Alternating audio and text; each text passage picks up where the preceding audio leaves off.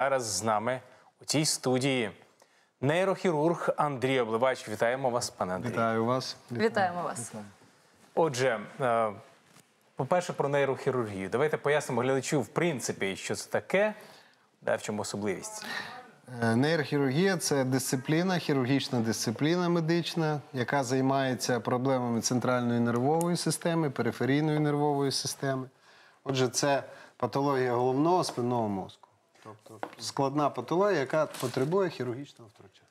І в чому саме складність нейрохірургічних втручань? Ну, нервова система взагалі це дуже складна система, і тому втручання на головному мозку, втручання на ділянках, які відповідають за важливі функції людського організму, адже е, головний мозок є певним диригентом всі, всього організму, і він відповідає за практично всі функції, які відбуваються в організмі. Тому, звісно, е, працювати хірургічно, втручатися в таку е, тонку систему, як центральна нервова система, це вона потребує певного і досвіду, і вміння.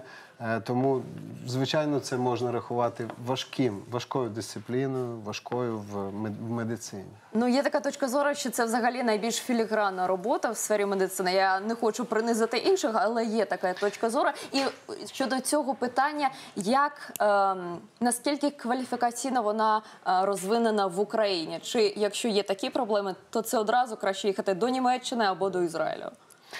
Е, е, Що стосується філігранної роботи, то не тільки в хірургії, не тільки в медицині можна знайти людей, які е, виконують щось дійсно філігранно.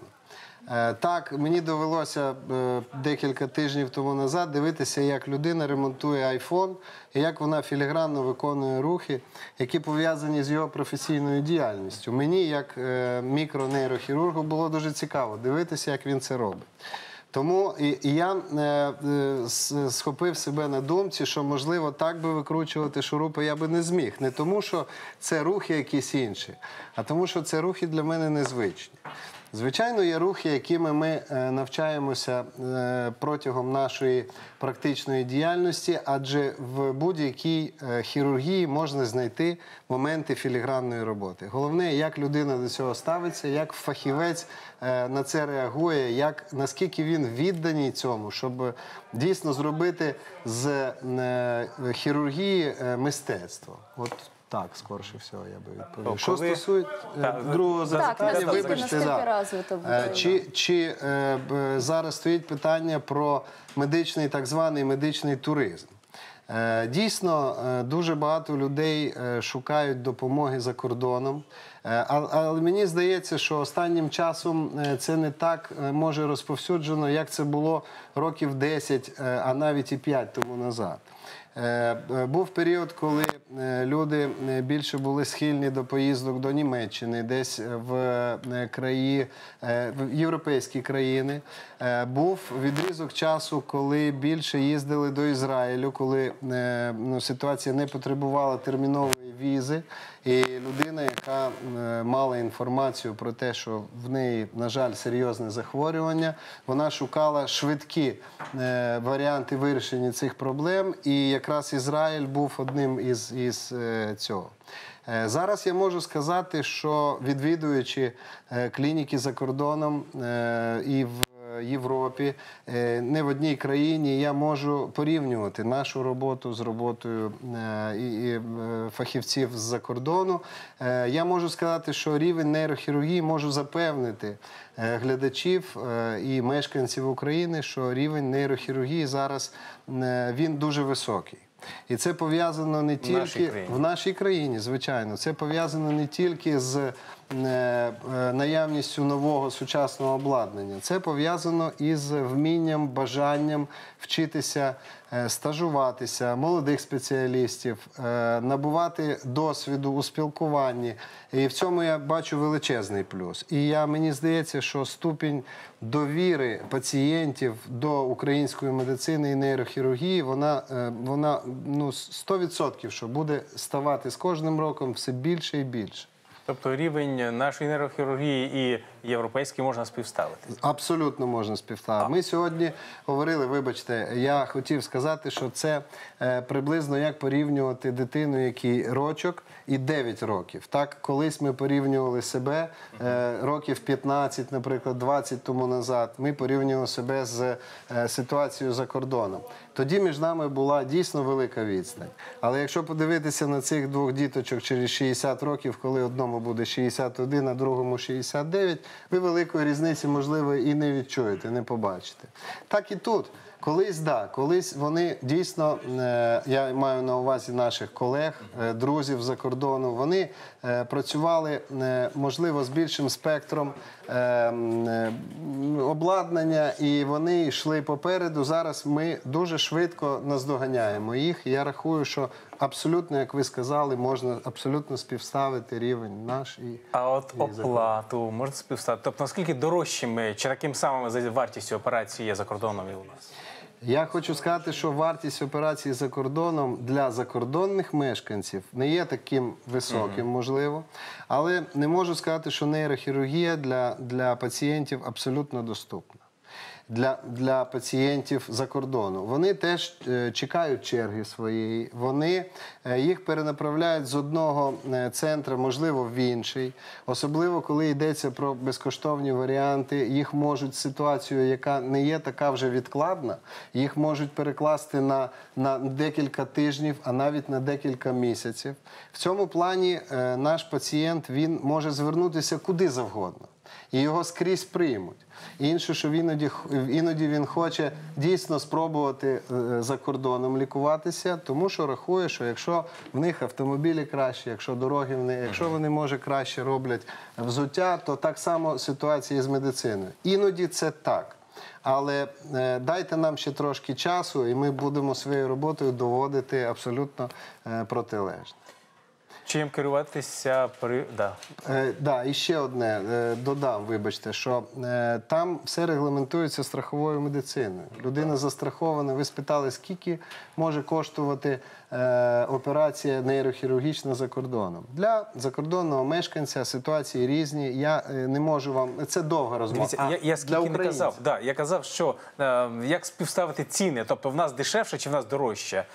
От так. Е, е, Однозначно Що дешевше. Дешевше. Ось. Для, для українського мешканця, який їде за кордон оперуватися, е, ціна може бути дуже високою.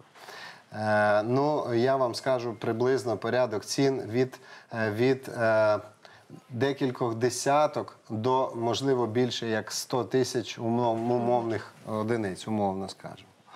От. Адже все одно є люди, які обирають от, суто цей шлях, тому що згадують якісь, може, неприємні історії, пов'язані з медициною своїх друзів, сім'ї, які були там ну, багато років назад. А може, просто є, є до, не досить велика довіра. Ну, різні бувають. При виборі лікаря і власне самого лікування процесу, чим керуватися потрібно пацієнту?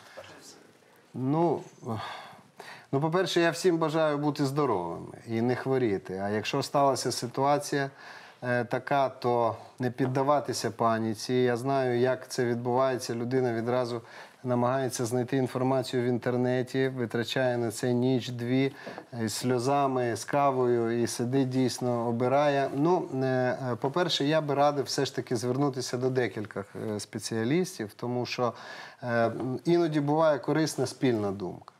Е, Якщо е, їх думка буде одностайна з приводу того, яку операцію робити, чи тут операція дійсно потрібна, ну тоді вже обирати більше ну, серцем, душею, е, я не знаю, особистою симпатією. Можливо, комусь сподобається. Я знаю, е, наприклад, е, пацієнтів, які хочуть мати ексклюзивні гарні умови.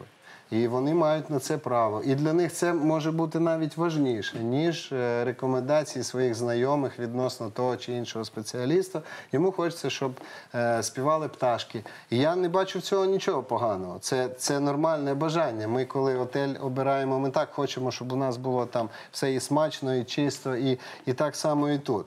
На жаль, не всі клініки можуть відповідати цьому рівню, але все, я повторюсь, ми йдемо вперед, ми не стоїмо на місці. І я думаю, що все буде змінюватися. Замінюватись на, на Ось ви сказали, що Україна змогла досягти цього певно достойного рівня в нейрохірургії завдяки тому, що самі лікарі хочуть ставати кращими завдяки міжнародній кооперації, стажуванням. А ось щодо обладнання, чи взагалі в Україні доступне все необхідне для операції? Тому що я знаю, коли постає питання е, термінової операції, навіть не вистачає донорської крові терміново. То що говорити про обладнання вже? Ну, е, що стосується крові, тут більше е, є проблеми, скорше всього, з організацією служби.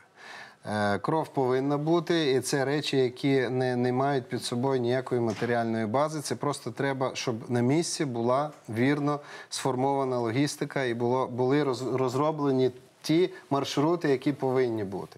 Що стосується обладнання, то зараз при бажанні, при наявності фінансів е, можна собі дозволити все, що завгодно. Раніше, коли ми говорили про державні закупівлі, і, на жаль, ну давайте будемо відвертими, на все грошей не, не вистачить, і тоді не вистачало, і не вистачає зараз. Проблем вже дуже багато.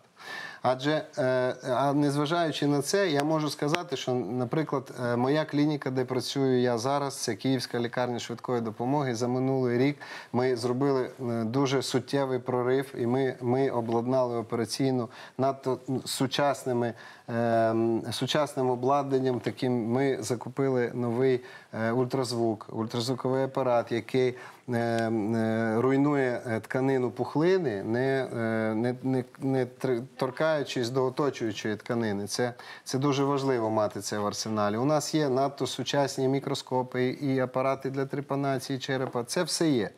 Е, Так само я можу сказати в Одесі в клініці Одрекс, е, де, де я е, буваю іноді, де працюю, так само допомагаю, може, лікарям.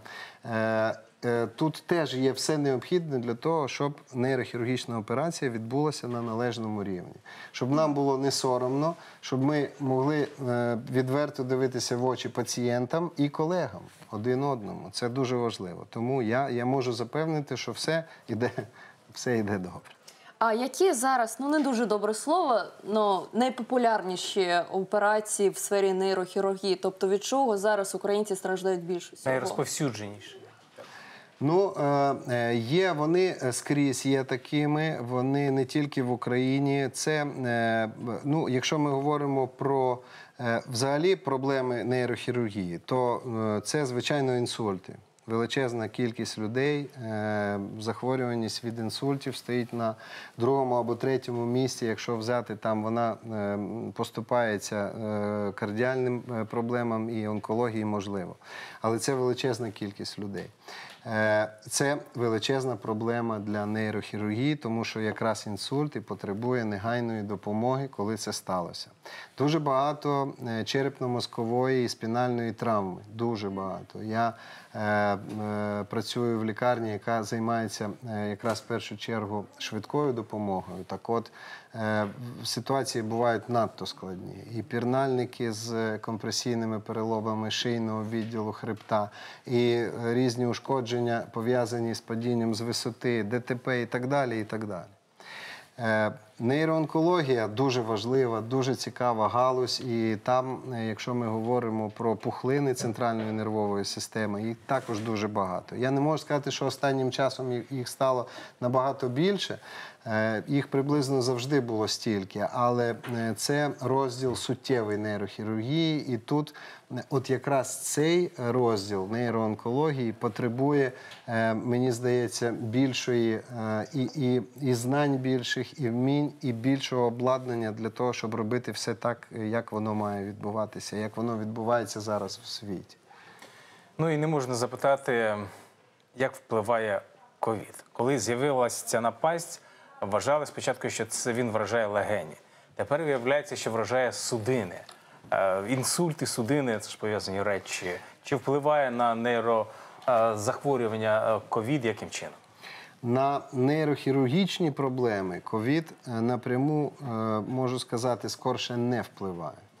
Але він дуже ускладнює зараз роботу е, медиків, які формують оці напрямки. Е, е, Наприклад, в великому місті, як в Києві, як працюю я, я відчуваю, що робота ведеться, але їм важко зрозуміти, спрогнозувати ситуацію, як воно буде завтра чи післязавтра. Кількість інсультів від ковіду не збільшилась. Принаймні такої статистики я не зустрічав. Мова йдеться про діапедезні крововиливи, про крововиливи не в мозок великих об'ємів, а інше. Ну і звичайно, ураження легень. Так. Так що не для кого вже не є таємницею, і всі вже, хто казав, що це якийсь всесвітній заговор, всі вже погодили, що це проблема дійсно суттєва. І нам дійсно важко працювати дуже. Тому що нам сьогодні дають одну установку, що ви не приймаєте ковід, але приймаєте весь лівий берег з інсультами. Через два дні ситуація змінюється. Давайте ми краще зробимо так, тому що людей більше. Давайте ми перенесемо ковідний центр сюди.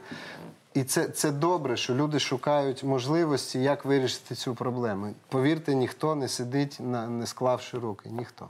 Статистика стосовно інсультів і пов'язаних е, з ковідом може збільшитись, ну може змінитися, якщо пройде певний період. Адже е, ну, те, що нам казали в ефірі, власне, я ж е, спеціально не вивчаю вплив ковіду на судини, але те, що нам кажуть в ефірі, це освіта онлайн. Розумієте? Е, значить, він яким чином впливає? Лег... То, що він те, що він руйнує тканину легень, це само собою. Руйнує так само тканину печінки, нирок. А судини він руйнує ну, в залежності від складності, від важкості хвороби, або частково, або руйнує фундаментально. І от ті, ті люди, які зараз пройшли цю хворобу, хтось перехворів безсимптомно, хтось з легкими симптомами, хтось важко, але одужав. І через рік-два, ось тоді, коли ці судини почнуть вражені ковідом, е, почнуть здавати, ось тоді зміниться статистика. Можливо, можливо. такий можливо, вплив. Жаль, А, можливо. Отже, ну дякуємо. Нагадаємо, що Дякуємо. у нас в студії е, так був е, нейрохірург. Е, і ми зараз переходимо. Да, е, представтеся Обливач Андрій Анатолій. Андрій Обливач. І ми переходимо до інших новин вже о